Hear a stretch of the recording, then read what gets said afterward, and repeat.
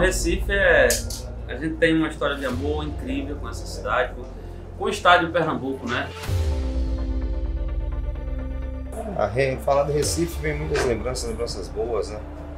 Nosso. foi o terceiro DVD que eu fiz aqui em Recife. Essa cidade que nos abraça sempre com tanto carinho. É, eu tenho fãs que hoje viraram amigos.